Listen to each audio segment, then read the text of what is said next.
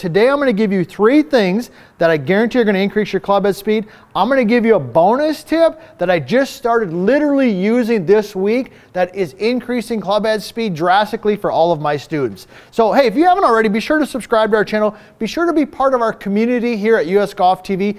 If you love golf, this is where you need to be because we're talking golf every single day. We're helping people get better. And some of you out there, you're teaching me some things as well. So be sure to leave some comments or questions if you got those because I always do my best to answer them. So let's dive right into this. We're talking about club head speed. How are you going to outdrive the people in your foursome? We're going to talk about something to do in your setup. A couple checkpoints there. I'm going to teach you how to create more body speed okay, how to rotate your body and create more speed. And then I'm going to teach you how to create some arm speed, all right? And then last but not least, I'm going to show you specific drill, like I said, that I just started using that is the, the results are off the charts fantastic. So let's talk about setup. Here's what we know. We're talking about the driver.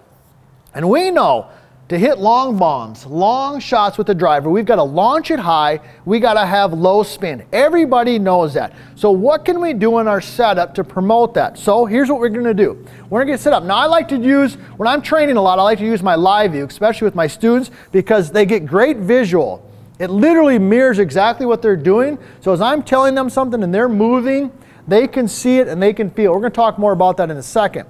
But in the setup, from the face-on view, when you're set in here, a couple things you can do. Number one is you got to have a nice wide stance, and you got to take your toes and rotate them out a little bit. Now, why is that important versus having your toes squared up like this?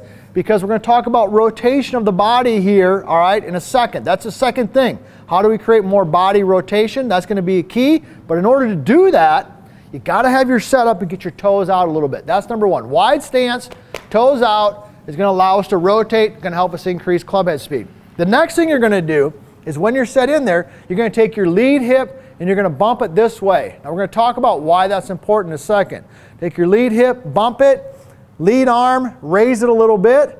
Okay, trail arm is underneath. So as I'm standing right here, got my live view right down the line, bump my hip, raise this, I can see my lead arm below my, excuse me, my lead arm above my trail arm.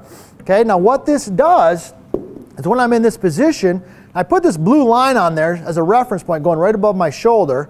Okay, notice where my hands are at right there. When I take it back, now when I come in, see how my hands, I want to feel my hands work underneath that. Notice how they're underneath that blue line and they're working up and to the right. When the swing works from in to up and to the right for a right-handed golfer, that's what allows you to hit up on the golf ball. That's what increases your launch and decreases your spin. So this little practice right here, Boom, right there, okay? A great visual. So that starts with having a good setup. So let's review the setup checkpoints. Then we're going to talk about the body speed.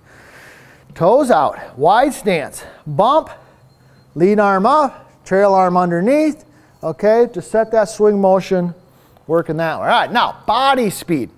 How do we create some body speed? Well, there's multiple ways. There's some rotation, Okay, rotating. We're going to talk about that at the end. That's the bonus tip I'm going to give you. The rotation. And there's also right and left, lateral.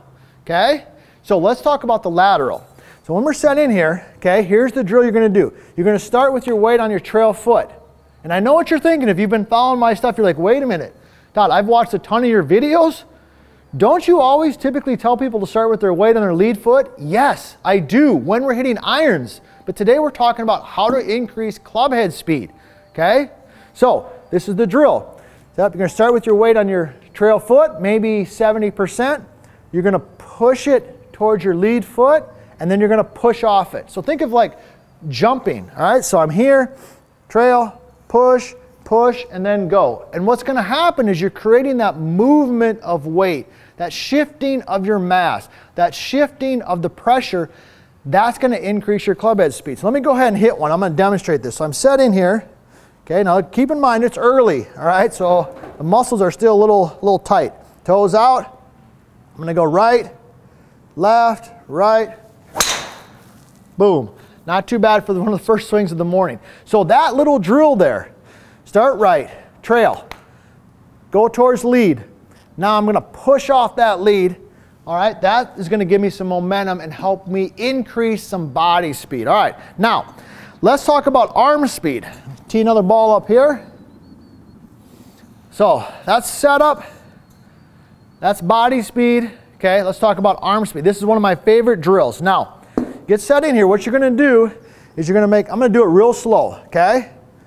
Back swing, forward swing, recoil right back in front. Let me do that again. Okay, so back. Notice I'm just doing these slow.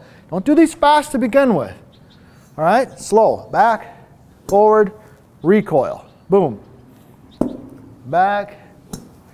Okay, notice I'm creating some speed. Now, once I got the hang of it, I can add some speed to it. Now, what's happening here? You can even hear the swish. I'm creating arm speed. Okay? So what I like to do when I do this drill with my students, need to create arm speed. This is really good drill. Okay, if you got a bad back, you don't have a lot of mobility, all right, if you're older, kind of like me, you don't move like you used to, arm speed is a huge resource for us. So you're in, so I'll do a couple of those. All right, now I got the sensation, now I'm gonna set up. Okay, now I'm gonna get that same feel with my arms. Okay, that was faster than the first one.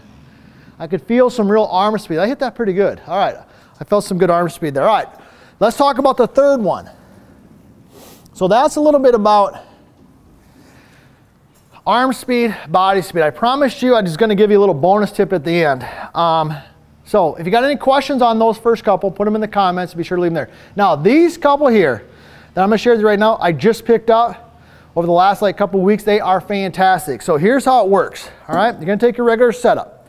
what you're gonna do is you're gonna make a backswing, and as you make a backswing, you're gonna take your trail foot and just step back a little bit.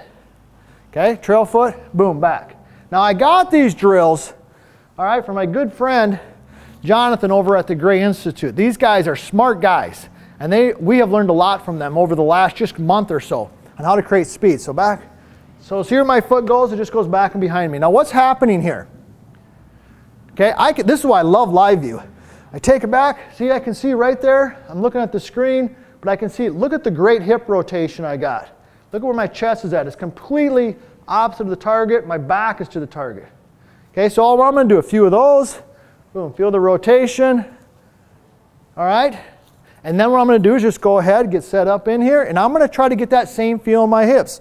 Rotate, back to the target, and go ahead and hit it. So creating club head speed, creating club head speed is not that difficult. And the problem is, is a lot of the information out there is just not correct. Next time you go to the golf course, you want more clubhead speed, get your toes out. Okay, get your lead hip up, get your hand up here, okay, arm up here, underneath a little bit there. Okay, get some push, do some of those drills, get some arm speed a little bit of these rotation. If you do those couple things, you're going to see your club head speed drastically increase and you're going to start out driving the buddies in your foursome.